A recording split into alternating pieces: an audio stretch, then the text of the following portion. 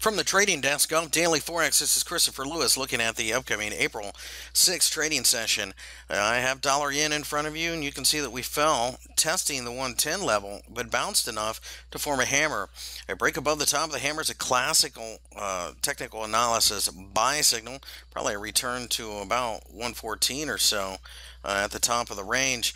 Uh, at this point, it's interesting with the FOMC meeting minutes coming out, we could get a lot of volatility. I think really you need to trade this market in the way you break out. So if we break out to the top, it's time to start buying.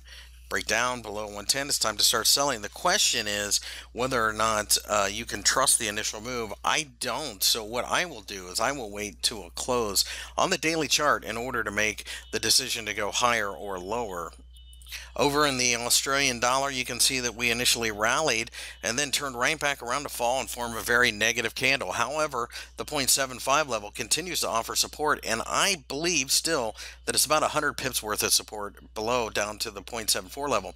So I'm waiting to see a supportive candle or bounce that I can start buying. That should send this market looking for 77 and then eventually the 0.80 level.